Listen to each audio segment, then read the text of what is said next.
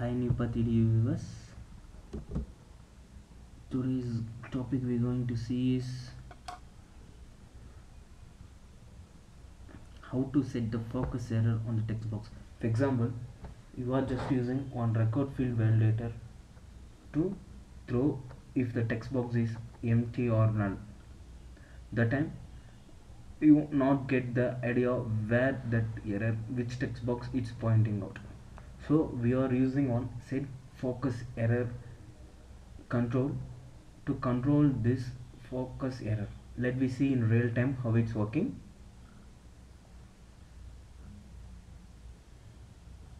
This is my previous things I did for the tutorials. If you want to see what are the things going on in ASP.NET you just go through our previous video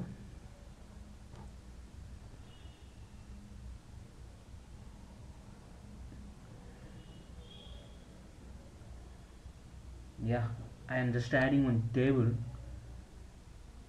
The table format is used for all the login registrations. If you want to create how to create the table you just go through our previous videos. These are the things I explained in previous things. You can easily understand if you see these videos also. Here I am planning to add on text box. Uh, yeah I am adding I am planning to add two text box and one button control to validate the text box. Let me see how it works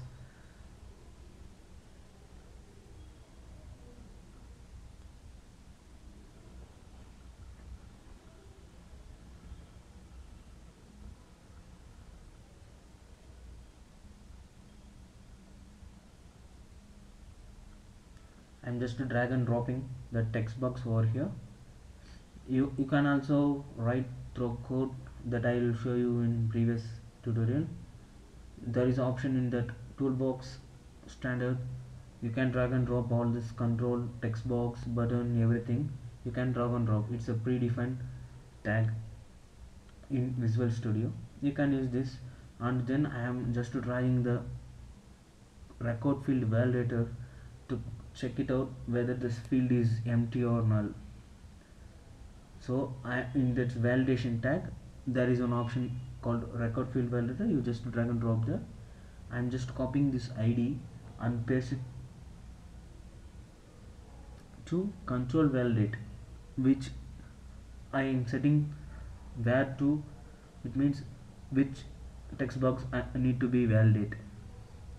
I'm just copying this id of two text box and giving this one by one in identical way. I am just changing the error message something called related with the text box and the column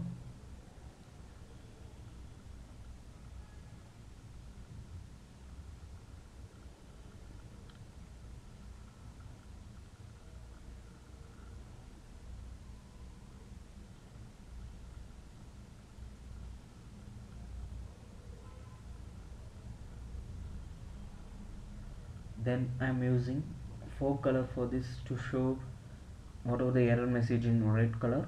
So I'm just adding the red fore color and just copy and paste it for to validator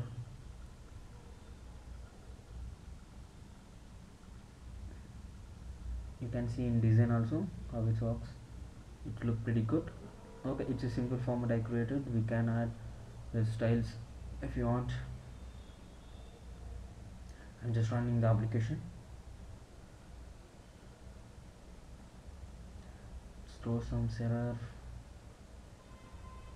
oops actually uh, I'm not deleted in C# files some files I added for previous tutorial. I'm just deleting this one. And then saving and run it again. It works perfectly. Oh before that I'm changing the text box sorry button has text as button text as submit related to this because it's taking default as a button.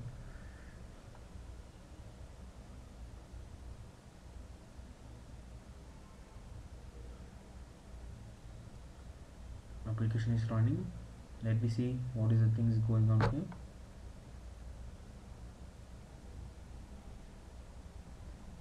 I'm just clicking the submit. It throws the error because there is no field in this text box now it won't throw error because there is uh, some fields are in this text box. I am just now uh, we need to identify what the things is going on here. I am just copy this required field validator 1 to here. Let me see these things. Let me see uh, run and explain you what the things why we need to use the set focuses on error. Now I am submitting. I'm just to realign this submit. Please enter the name. I don't know where it, is showing this because uh, it's aligned in nearby. We can understand and we can find out where what is the things is. If we add it somewhere it's bit difficult. So for this uh, error rectifying method we are using set focus on error. To true. It will throws it will focus where the error going to be displayed. I am just reloading this one and just to sum it now it's focusing right? Yeah it's focusing the text box one because I'm given the control validate to text box so it's focusing there. Now you can understand what is the essential use of the set focus on error right? Yes absolutely. Yes it's focusing yeah. You can see the difference in normal text box on these things. Okay likewise we can use this uh, set focus error for find out where the control is there. So these things is easy to understand but these are the essential thing we need to learn in ASP.NET thanks for watching guys. More videos please subscribe our channel. Please encourage us by giving some comments. Thanks thanks buddies